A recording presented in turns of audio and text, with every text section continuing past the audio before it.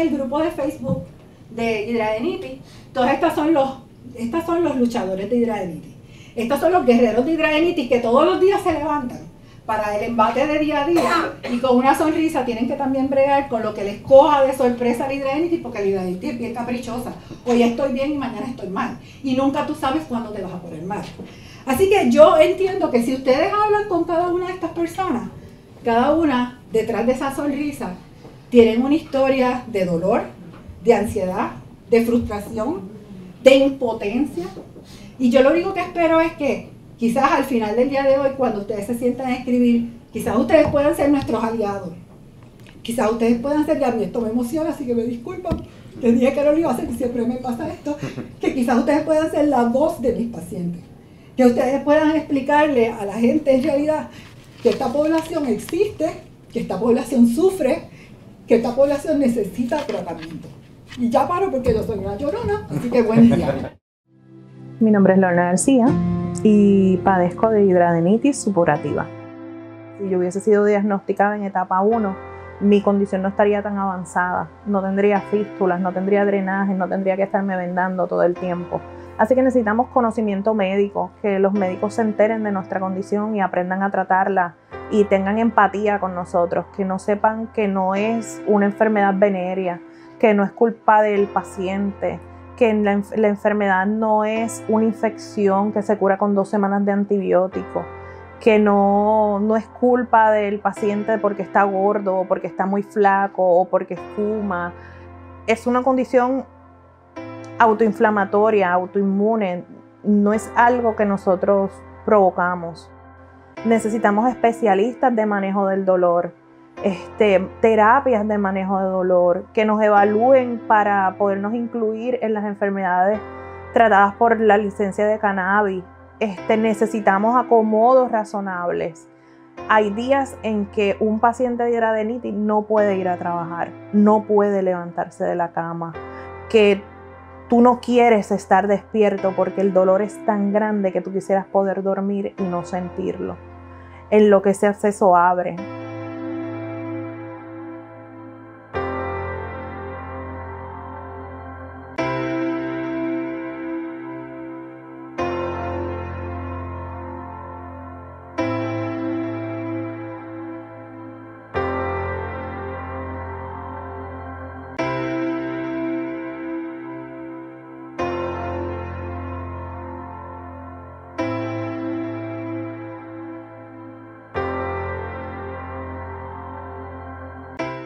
Saludos a todos nuestros amigos de la revista de Medicina y Salud Pública y hoy un saludo especial a los pacientes que viven con hidradenitis porque este programa es para ustedes. Así que si usted conoce a alguien que tiene la condición, vive con la condición o usted es paciente, pues tiene que estar muy atentos a la conversación que va a ocurrir con la doctora Alma Cruz, quien es dermatóloga y especialista en esta condición eh, crónica, y también con Adeline Pagán, eh, porque ella fue la fundadora y es la presidenta de la Fundación de Apoyo a Hidra Denitis Supurativa en Puerto Rico, o sea que cuentan con esta organización que también orienta, da información y ofrece apoyo eh, pues emocional, psicológico y también de orientación y educativo a los pacientes. ¿Cómo se encuentra, doctora? Muy bien, me encantada de estar aquí compartiendo contigo. Y hola, Adeline, gracias por acompañarnos. Gracias a ustedes y un saludito a todos los pacientes. Claro, y esto va a ser una conversación, así que ustedes pues se pueden sentir en la libertad, ¿verdad? De, de entrar cuando ustedes así lo entiendan, pero si hay personas que no conocen la condición, no, ni siquiera han escuchado de lo que es hidranitis y hidradenitis, que también se conoce como hidradenitis supurativa, pues si podemos explicar, doctora, en qué consiste esta enfermedad. Pues la hidradenitis supurativa es una enfermedad crónica, o sea que al momento no hay cura, es una enfermedad progresiva, o sea que si uno no recibe tratamiento, la condición va a seguir empeorando y se va a caracterizar por la presencia de tres tipos de lesiones. Hay unas lesiones que son los nódulos inflamatorios, que son con estas bolitas rojas, calientes, dolorosas. Aquí en Puerto Rico le llaman golondrino. Existen los abscesos, que es el segundo tipo de lesión, que son estas lesiones nodulares, que blanditas, que cuando uno las aprieta, o las abre, liberan sangre o pus. Y tenemos los tractos drenosos, que son como unos canales debajo de la piel, que también conectan con la piel en diferentes áreas y también botan material de sangre y pus. Estas lesiones ah, característicamente van a afectar las áreas eh, de pliegues, como debajo de los brazos, debajo de los senos, entre las piernas, el área genital, el área de las nalgas y el área alrededor del ano. Y estas lesiones son recurrentes. Y esa es la característica de la hidroditis, que son las lesiones características, que son nódulos, abscesos y tractos, que ocurren en áreas de pliegue en forma recurrente. Es una condición crónica, progresiva, no es infecciosa, esto es importante, es un proceso inflamatorio, no es un proceso infeccioso y es extremadamente doloroso, afectando la calidad de vida del paciente que lo padece en todas las formas, físicamente, mentalmente y emocionalmente. Pues así lo entendemos porque comparado con otra condición que no se ve, que es interna, la hidradenitis supurativa se manifiesta y a veces la persona, ¿verdad?, es, eh, digamos, estigmatizada, tiene problemas en su lugar de trabajo, en su entorno, porque precisamente se manifiesta en la piel. Así que qué bueno que hay una fundación que creó Adeline Pagán para poder apoyar a todos los pacientes. Eh, Adeline, cuéntanos desde cuándo se formaron y quizás cuántos pacientes ustedes agrupan para saber cuántas personas pueden estar afectadas en Puerto Rico. Sí, inicialmente el grupo se creó porque mi hija es la que padece la condición como ya he contado, ¿verdad? Estuve buscando información en las redes y no, no había un grupo como tal, ni un punto de reunión. La tarea nos la dimos en formar el grupo, mi hermana, que se llama María Pagán, Kiara, que es mi hija, Lervoz, y yo, ¿verdad? Y yo estoy muy contenta. Casi estamos llegando a los 600 miembros en la página de Facebook, que de hecho en la página hay un link para añadirse a un grupo que también tenemos por WhatsApp, que también, ¿verdad? Tenemos esa alternativa y ha servido de, de punto de encuentro para manifestar el dolor. Y entre ellos mismos se dan soporte y se dan recomendaciones y también se van educando. Eso es bien importante, doctora. Eh, Adeline señala que hay como 600 eh, personas en esa comunidad, 600 personas en esa comunidad, pero deben ser muchos, muchas más las personas que padecen la condición. Cada vez yo tengo la impresión que es correcto. Nosotros empezamos un estudio epidemiológico que pues todavía está en progreso. En general, la epidemiología de la enfermedad dice que cerca del 1% de la población debe sufrir de la enfermedad. Y el problema principal que estamos teniendo es que la condición no se reconoce particularmente en los estadios tempranos. Y esto ha llevado a que muchos pacientes puedan estar 7, 10 y 12 años sin diagnóstico. Así que la eh, prevalencia de la enfermedad en la isla, pues en realidad es desconocida porque reconozco que hay muy poca conocimiento de lo que es la enfermedad, tanto dentro de la población general como dentro de los profesionales de la salud. Y esto está llevando a que no se hagan los diagnósticos tempranos. Así que debe haber muchos más pacientes que no están diagnosticados todavía que tienen la condición. Pues vamos a hablar de la manifestación de esta condición dermatológica, porque puede confundirse con otras condiciones para ver si, si el propio paciente quizás pueda ayudar a identificar que tiene hidradenitis y no tiene otra condición. ¿Cómo la distinguimos de otras condiciones? tenemos que empezar a decir que la condición tiende a ser mucho más común en mujeres que en hombres. Se ve tres veces más común en mujeres que en hombres, aunque dice la literatura que generalmente los hombres tienden a tener una condición más eh, agresiva que las mujeres. Como dije, la condición se va a caracterizar por las lesiones clásicas de abscesos, nódulos y tractos que ocurren principalmente en las áreas de roce, en las áreas de pliegue, debajo de los brazos, entre los senos o debajo de los senos, como dije, en el área inguinal, en el área de los glúteos, en el área genital y el área perianal. Pero lo más característico es lo recurrente de la condición sea, esto es que sale un abscesito y se va, y un mes más tarde te sale un nódulo y se va. Y por lo menos tenemos que poder documentar por lo menos tres exacerbaciones o más en un periodo de seis meses para uno poder por lo menos sospechar o hacer el diagnóstico de la condición. El problema es que las estadios tempranos, bien tempranos, estoy hablando probablemente pacientes de 15, 18, 20 años, como la enfermedad no es constante, porque se caracteriza porque sale un nódulo, el paciente se le va, puede estar 3, 4 semanas bien, después le sale un absceso, esto van a sala de emergencia, le drenan el absceso y se curó ese absceso. Un mes más tarde le sale otro nódulo, va a un médico primario, recibieron antibióticos pensando que era eh, pues una foliculitis, un pelito enterrado. Y todos estos diagnósticos, pues quizás el paciente es el que puede tener el historial, pero no lo está viendo el mismo médico para no poder documentar estas recurrencias y todas estas recurrencias se pierden en el camino. Y no es hasta que ya el paciente tiene las cicatrices o está más adelantado que entonces alguien dice, ah, tienes hidradinitis supurativa. Pero tenemos que empezar a sospechar desde temprano. La condición empieza después de la pubertad. Y una Esa es mi próxima pregunta. Empieza a ser después de la pubertad y una de las cosas interesantes, y pues aquí eh, estoy viendo mucho adolescente con la enfermedad últimamente, pacientes de 12, 15, 18, 20 años aunque dicen que el pico de la condición es a los 20 años, que quizás es cuando se manifiesta con más severidad la enfermedad, pero la condición empieza antes, siete años antes, ocho años antes. Así que quizás los pediatras son los primeros médicos de familia, son los primeros que están viendo a estos jóvenes con la condición, pero se piensa, pues mira, lo que tienes es un colondrino, o tienes un pelito enterrado, o tienes una lesión de acné, o tienes un nódulo inflamatorio, pero nadie piensa en esas estadías tan temprano y bien temprano en la enfermedad en gente tan joven en hidradinitis supurativa. ¿Y cuáles son las causas, si algunas? Hoy entendemos que la hidradinitis supurativa es una enfermedad sistémica. Lo que estamos viendo en la piel es el reflejo de una alteración en el sistema inmunológico interno del individuo.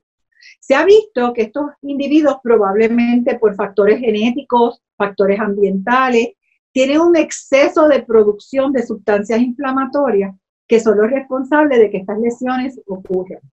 La condición empieza en lo que se conoce como la unidad pilosebácea, que es la unión del pelo con la grasa, y generalmente ese poro se tapa, se acumula y grasa, se coloniza con bacterias y se va llenando y se ve dilatando ese poro hasta que eventualmente se rompe y eso va a liberar esa grasa, esas bacterias al tejido profundo y en pacientes que están genéticamente predispuestas, pues entonces comienza una respuesta inflamatoria exagerada y descontrolada, que es el resultado clínicamente de las lesiones, y ese proceso inflamatorio se sigue extendiendo a las áreas adyacentes o a otras áreas anatómicas. Vamos a regresar con usted más adelante para hablar de los tratamientos, que son importantes, cómo vamos a mejorar la calidad de vida de este paciente, pero me gustaría regresar con Adeline sobre qué le dicen los pacientes, por qué en Puerto Rico, al igual que en las zonas tropicales, hay un intenso calor eh, y ahora eh, vamos a sufrir en partes de Puerto Rico, ¿verdad? Un racionamiento de agua potable que va a afectar la forma en que podemos manejar la higiene, etcétera, y la limpieza. ¿Qué le manifiestan los pacientes, Adelín? Pues precisamente eh, en estos días, tan cerca como hoy, ellos manifiestan, manifiestan precisamente que están exacerbándose las lesiones por el calor, ¿verdad? Con relación pues, a, a que ellos hacen, ellos recomiendan que uno esté bajo lo que es el aire acondicionado, las personas que tengan esa oportunidad, eh, que para, para, buscar algún tipo de alivio por el calor que está haciendo, porque no, no hay otra alternativa como tal. Eh, y vamos con la doctora entonces a hablar de cómo vamos a manejar la situación, doctora. ¿Cuál es su consejo a los pacientes en estas circunstancias? Con este contexto que tenemos del intenso calor y quizás la falta de ese manejo de, de preciado líquido que es el agua y la pandemia. Bueno, aquí tenemos varias cosas. Eh, lo primero es diagnóstico. Si usted como paciente que está escuchando esto, como persona que está escuchando esto cree que tiene estos síntomas, por favor vaya a un dermatólogo, porque probablemente somos nosotros los dermatólogos los que estamos más entrenados para hacer un diagnóstico temprano de la condición. Porque lo primero es hacer el diagnóstico y establecer una severidad de la enfermedad, porque el manejo va a estar dirigido a la severidad de la condición.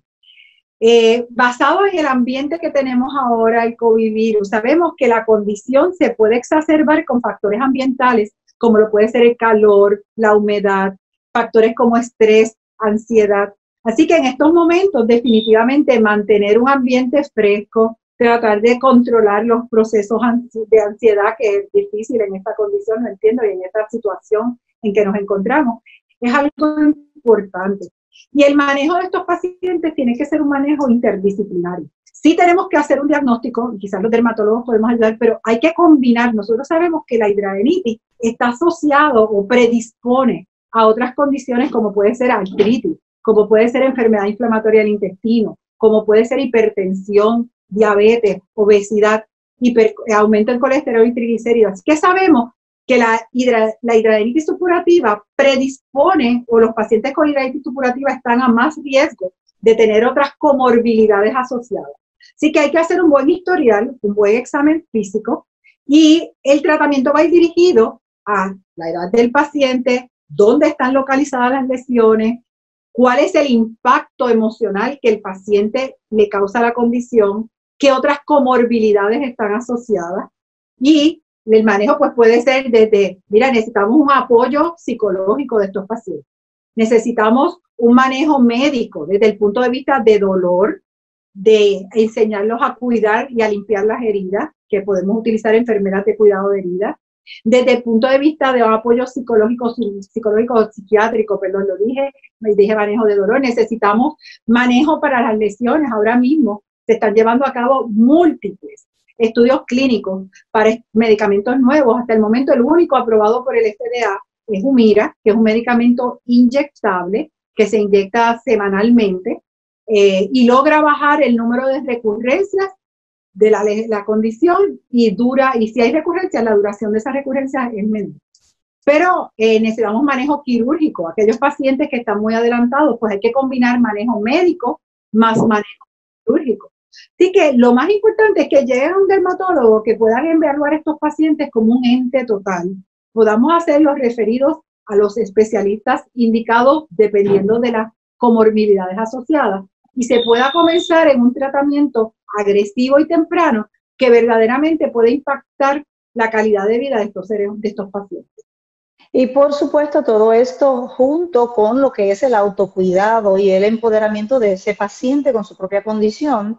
Así que en la fundación, ¿cuál es el rol quizás en ayudar a ese paciente, en guiarlo en ese proceso, Adeline? Esto quería compartir, ¿verdad? Voy a tomarme el atrevimiento de mostrar lo que es la proclama, ya está firmada por la gobernadora, ya yo lo había compartido con los miembros declarando que la primera semana de junio de todos los años es la semana de hacer conciencia, ¿verdad? Es importante que como grupo pues nos demos apoyo, porque tenemos que entre todos levantar lo que es la fundación y seguir hacia adelante, ¿verdad? Tenemos que dar a conocer lo que es la condición, ¿verdad? Que cuando oigan el término, cada vez sean menos las personas que se queden con el interrogante de qué, es eso, ¿verdad? Una condición que es sumamente dolorosa, como mencionó la doctora, ¿verdad? Uno ve a los pacientes y yo digo que en el grupo pueden hacer un concurso de mis universo porque son bellas, ¿verdad? Y varones, ellas son bellas. Nadie sabe lo que hay detrás. El dolor, ¿verdad? De las marcas, el sufrimiento, la limitación de tantas cosas en la vida. Así que tenemos que seguir hacia adelante. Es que lo importante es que se sepa que la hidradenitis supurativa no es contagiosa. Eso es bien importante que lo sepa ¿verdad? el público, eh, porque ya los pacientes lo saben. Pero quería preguntarle, doctora, sobre tratamientos. Usted mencionó un medicamento en particular. Quería saber si los estudios apuntan hacia otra forma de abordar esta condición con una nueva generación de medicamentos o en dónde estamos en términos de tratamiento. Eh, desde el punto de vista de tratamiento médico. El tratamiento médico, pues como les dije, el único medicamento aprobado es el Humira, que es un inhibidor de una sustancia inflamatoria que se llama factor necrótico tumoral alfa. Y esa sustancia se ha encontrado que está hasta cinco veces más elevada en las áreas de hidradenitis que en la piel normal.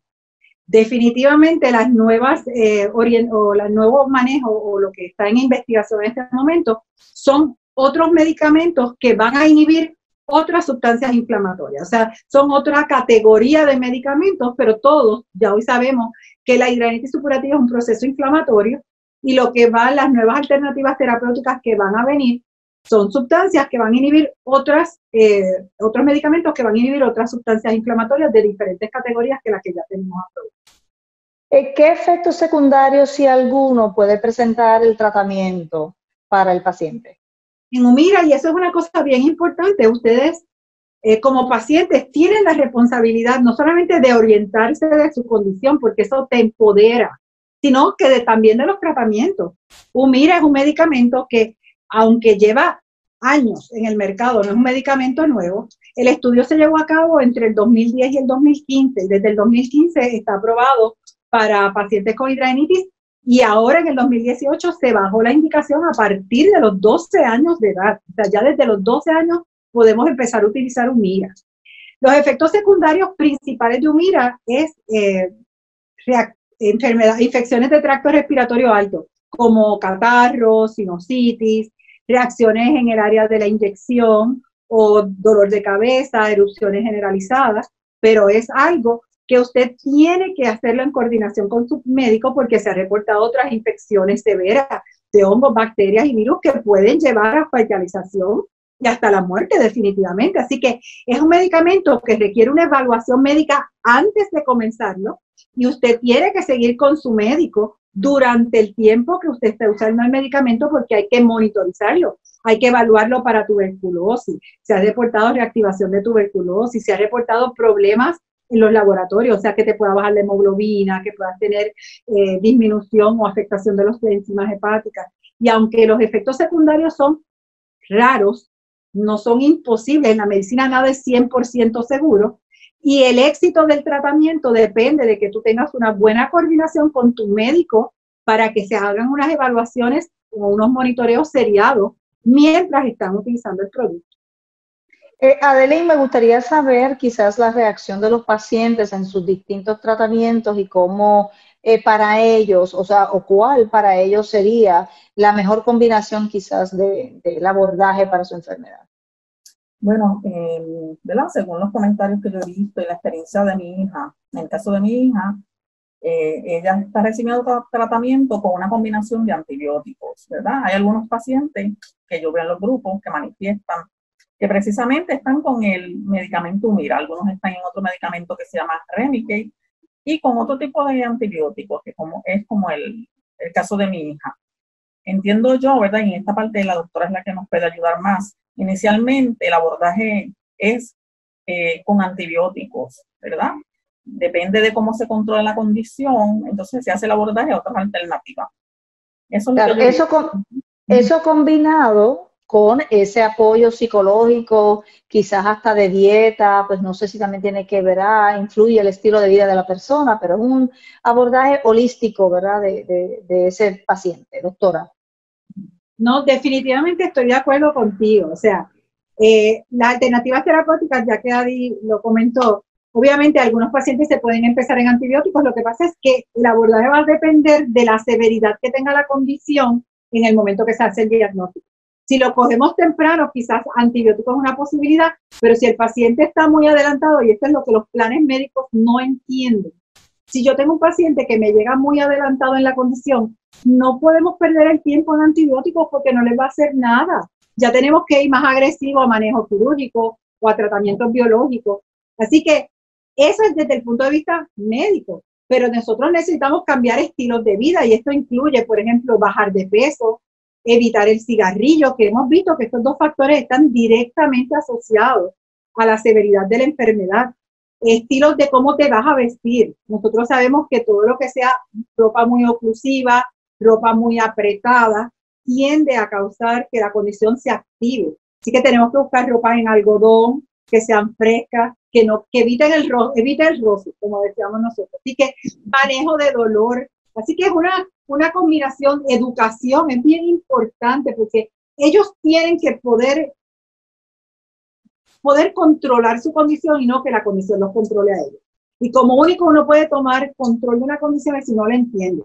Que ellos entiendan y puedan identificar qué factores me exacerban. Algunos pacientes en mujeres la menstruación, algunos pacientes tratamientos hormonales los ponen peor y a otros, sin embargo, los mejoran. Así que tenemos que hacer una, ellos tienen que entender y orientarse y buscar información porque el manejo se tiene que individualizar dependiendo de la necesidad de cada paciente.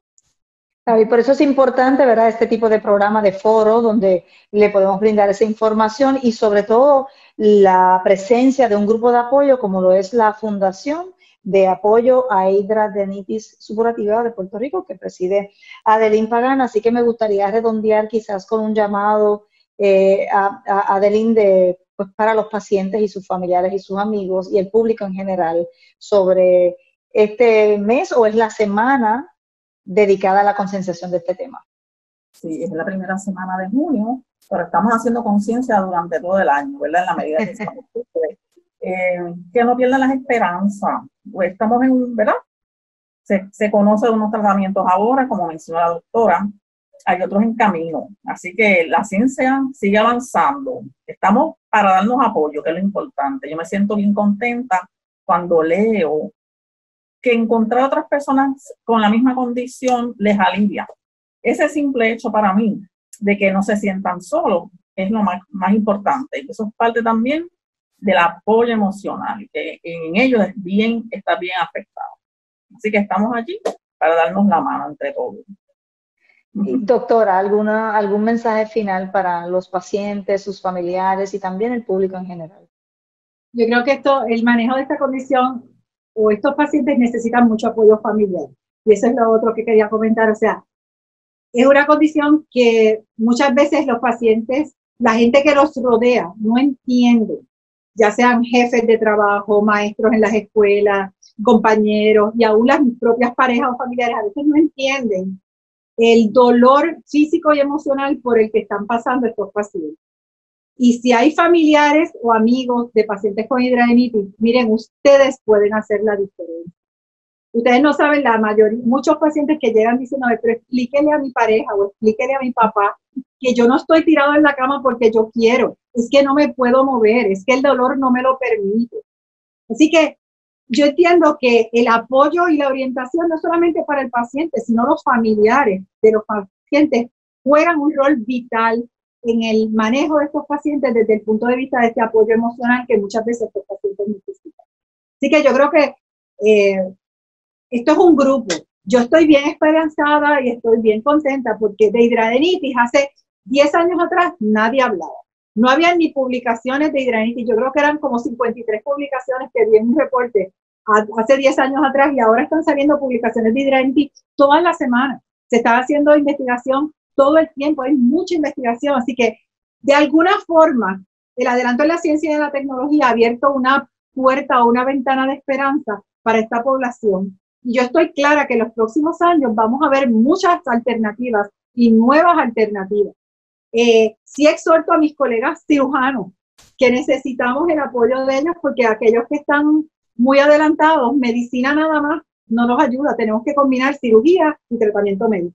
Así que cualquier cirujano que esté escuchándonos, necesitamos el ayuda de ustedes, particularmente cirujanos plásticos, cirujanos colonorrectales, porque tenemos, las cirugías son, cuando el paciente está muy adelantado, son cirugías grandes y necesitamos que el Servicio de Salud de Puerto Rico entienda que esta población necesita ayuda, necesita el apoyo del gobierno de Puerto Rico, porque no les quieren cobrar, cubrir ni los tratamientos ni la cirugía.